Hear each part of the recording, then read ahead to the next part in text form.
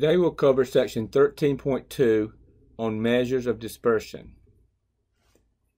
In the previous section we studied the mean, median, and mode.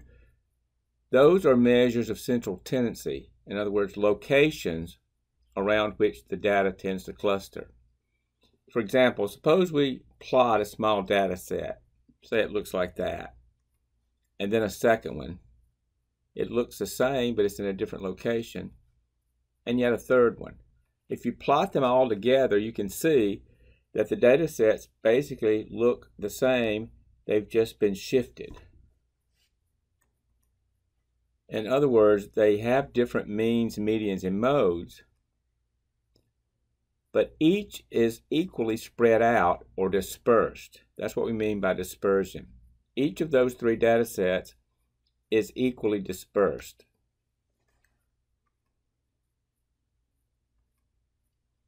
That's what leads us to the study of measures of variation or dispersion of data, as a contrast to just a measure of location, which we studied in the previous section. These measures will tell us in some sense just how much the data are either spread out or packed in together. The first and simplest measure of variation is called the range. The range of a data set is simply the difference between the largest and smallest data points. So the range is just a maximum value minus a minimum value. It's a relatively crude measure of the spread of data set because it doesn't say anything about the values in between the minimum and maximum values. Here's an example that's sort of aged. It's been in my slides for quite a long time, so the information may be out of date, but the point is the same. This is a list of the heights in inches of four different people. At least at the time, the tallest person in the world the shortest person, and two other people, including LeBron James and LaDainian Tomlinson. In any case, the range of that data set would simply be the largest number, the maximum, minus the smallest number, the minimum. In this case, that would be 102 minus 26, which happens to be 76 inches. And in case you're interested, that's about 6 feet 4 inches. Another measure of variation of a data set is the standard deviation. Now we'll say here, I'm going to flash up that formula and in fact I'm even going to show you how to calculate it a step at a time. However, just so it doesn't scare you too much, we will find that there is a keystroke on the calculator that will do this for us. I basically want to show you how much value that keystroke is going to have for us by showing you what you would do if you did not have that keystroke. So bear with me. Let's take a data set 16, 14, 12, 21, 22 and calculate the standard deviation without the assumption that there's a button on the calculator that would do it for us. If you're still having difficulty calculating the mean, I'll refer you back to the video from the previous section on the mean, but at this point I'll assume that you can calculate the mean without me mentioning it again. It turns out to be 17 for that data set. But to calculate the standard deviation, from this sample of one, two, three, four, five numbers, here's what you would do by what I would say by hand. You're actually using a calculator in any case probably, but you could do this by hand. The first thing you do is to make a column for the deviations from the mean. If you look at that formula, there's one point where you have x minus x bar. So just calculate the difference of each data point from the mean. So you take 17 away from 16, get minus 1. You take 17 away from 14, you get minus 3. From 12, you get minus 5. You take 17 away from 21 and get 4. You take 17 away from 22 and get 5. So there's your deviations from the mean. Then if you look back at the formula, you notice they get squared. So you need another column for that squared deviation. So you square minus 1, square minus 3, you square minus 5, you square 4, and you square 5. And then you see in that formula there's that sigma. Sigma means sum, so you need to add up all those squared deviations. And if you add them up, it turns out you get 76. So the numerator inside that square root symbol is 76. The denominator is n minus 1, where n is how many values there are. Well, we said there were 5, so n minus 1 would be 4. So you get 76 divided by 4 under the square root. That's the square root of 19. And if you take that calculator and do the square root and round it to two decimal places, you get about 4.36. This is how you would do the calculation if we didn't have a standard deviation button on the calculator. Luckily for us, we do. So these calculations are strictly educational, just to show you what you would do if you didn't have the button. Lucky for us, we do have a button, and we will not have to do it this way. Let's show the same process given the knowledge of a set of keystrokes that will give us the standard deviation from this sample. And all it is, is a procedure exactly like calculating the mean, except you do shift 9 instead of shift 7. Otherwise, it's identical. So if I want to calculate the mean, I don't need any of those other columns. I just need the data values themselves. I enter those data values exactly like I entered them if I were calculating the mean. So you press on to clear out any old data. You do mode period, which puts it in stats mode. And then you key in each number and press M plus afterwards. This is exactly what you did when you're calculating the mean. This is nothing new. But when you're doing the standard deviation of a sample, after all the data is in, you press shift 9 instead of shift 7. It's the only difference. I'm going to throw up the uh, other useful tips just so that list is complete. But calculating the standard deviation of a sample is it's exactly the same as calculating the mean, except you do shift 9 instead of shift 7. Just remember that. In this particular case, the keystrokes will be on to clear the old data and wake the calculator up, mode period to put it in stats mode, and then you enter each data point followed by M plus. Don't forget M plus after the 22, and then do shift 9. And if you look in your calculator display, you'll see 4.358889844. And if you round that to two decimal places, you get 4.36. This also might be a good time to introduce a new term called the variance. The variance is nothing but the standard deviation squared. So once you get the standard deviation, if you want the variance, you just square the standard deviation. For example, in this problem, the standard deviation was 4.358898944. If you square that, you get the variance. And if you are going to round it to two decimal places, you get 19.00. But do not use the rounded standard deviation to calculate the variance. Take the unrounded value, square it, and then round it back. How about this example? A company hired six interns. After four months, their work records show the number of work days missed for each worker 0, 2, 1, 4, 2, 3.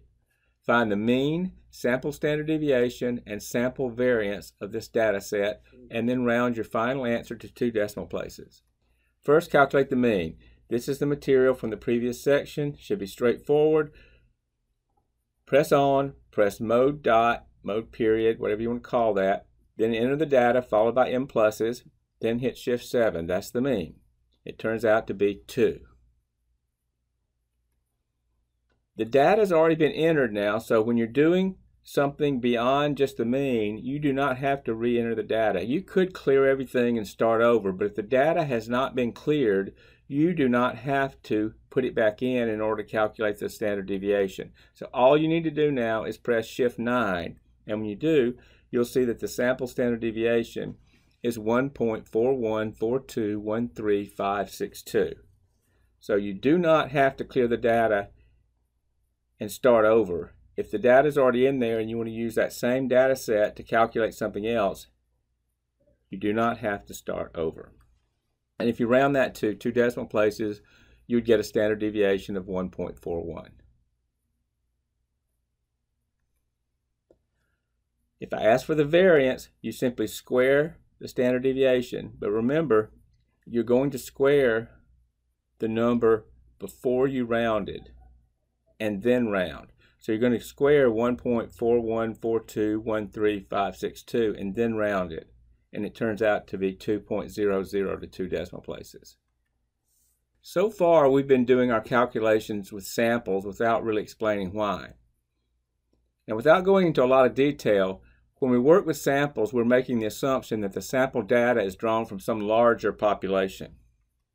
For example, we might take a sample of 10 student grades from a class of 96 students. This set of 10 grades is the sample, while the 96 student grades are the population. It turns out that when we calculate the sample mean, it's the same as a population mean. It doesn't matter whether it's from a sample or from the population. Turns out, though, that there is a slight difference when you're doing standard deviation. There's a slight change in the standard deviation formula when you're calculating the population standard deviation. So whereas it never mattered with the distinction between a sample and a population with means, it does matter if we're talking about the standard deviation. Just to illustrate, suppose we take the data from the previous example, the 0, 2, 1, 4, 2, 3. We found that sample standard deviation to be about 1.414213562. That was from a sample. If I told you that was the entire population, you have to do something differently, but it amounts to just one keystroke. If you look at it, every single keystroke is the same until you get to the very end. And it amounts to making one press differently. If you're doing a sample standard deviation, you do shift 9. If you're doing a population standard deviation, you do shift 8. So it's strictly one press different. But you do have to be watchful to see if you're asking for a population standard deviation or a sample standard deviation. I do want to say when you're looking at this on your calculator, if you'll notice above the 9, there's a sigma n minus 1. That's what we're calling small s, which is the sample standard deviation.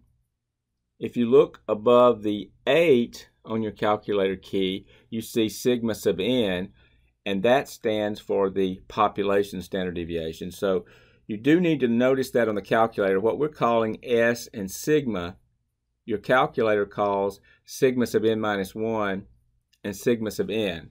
I don't really want to get into why that is. There is a reason. If we were studying this as a whole course in statistics, I would talk about it more in depth. But I do want to point it out that the sample standard deviation that's associated with the 9 keystroke is going to be labeled sigma sub n minus 1. And the population standard deviation, which is associated with the, the keystroke 8, is going to be sigma sub n. So just look at that and get it in your head. Sigma sub n for population standard deviation, sigma sub n minus 1 for sample standard deviation. Just take a minute and look at that. And once you've got it, you got it. Let's look at this example. Consider the following 12, 21, 13, 20, 27. Compute the population standard deviation of the numbers. Round your answer to one decimal place. Remember, this is a population standard deviation. So when you put the numbers in, it's exactly the same as if you're doing the sample standard deviation, except at the end, you press Shift 8 instead of Shift 9. And you get approximately 5.535341. If you round it to one decimal place, that's about 5.5. Here's an additional question. Add a non-zero constant c to each of your original numbers and compute the standard deviation of this new population. Again, it's a population. And again, we want to round our answer to one decimal place. So they're asking us to add a constant c that's not zero. So they're saying pick any number you like and add it to each of those data points and then recalculate. So I'll pick two. You can pick five, it doesn't matter. Pick some number that's not zero and add it to each of them. So if I add 2 to 12, 2 to 21, 2 to 13, 2 to 20, 2 to 27, I get 14, 23, 15, 22, 29. Now calculate the population standard deviation again. If you do that, you'll find out it doesn't change. If you round it, you still get 5.5 approximately to one decimal place. The B part asks you to look at those two calculations and make an inference. It says using the results from part A in inductive reasoning to state what happens to the standard deviation of a population when a non-zero constant is added to each data item. Now, an inference is not necessarily a proof, but it looks like it doesn't change. And that's the choice I would choose based on what I just did. I did the calculation both ways. The answers came out the same.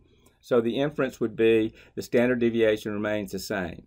It turns out that is in fact true that when you add a single number to each data point, the calculation for the standard deviation does not change at all. Now, this has nothing to do with your ability to do these problems, but I do feel that I should try to explain a little bit about what this standard deviation really is. And I'm going to give it a shot, but understanding what I'm going to say from here out really doesn't affect your ability to do the problems. I'm just trying to add a little bit more to your understanding. So let's give it a shot. Suppose the length that I put up here on the screen represents the difference between two values. And what if each of the line segments I've displayed down here in the lower left quadrant is one standard deviation in length? If I take one of those things and then another and then another and then another and stretch them along the length of that wider segment, it turns out it takes four of them to equal the length of that one wider bar. So what I could say is that blue bar, that wider bar, is four standard deviations long. But what if the bars for the standard deviations were really longer? What if the on the right quadrant, what if those bars represented one standard deviation in length? What if I stretch those bars out? Well, it takes only three of those. So the wider bar is three standard deviations long if the standard deviation is the length of one of the bars on the right, but the length of the wider bar is four standard deviations long if the standard deviation is the length of the bars on the lower left quadrant. So in effect, when we calculate a standard deviation, we're computing the length of our measuring stick. If the standard deviation is really small, it'll take several standard deviations to, to span a certain um, distance. If the standard deviation is larger, it takes fewer of them. Now, I don't know if that helps or not. It has no bearing on whether you can do the calculations or not, but I do hope that it gives you some little bit of more understanding in what a standard deviation is. It's sort of the length of our measuring stick. One more reminder, there is a summary sheet that you can download if you bring this presentation up in PowerPoint. The link will bring you to a summary sheet that you can actually print out and keep.